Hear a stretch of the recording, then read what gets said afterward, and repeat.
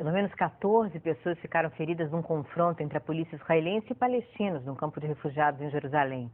A confusão começou depois que os policiais chegaram ao local à procura de pessoas que estariam devendo impostos municipais. Jovens palestinos lançaram pedras contra os veículos da polícia.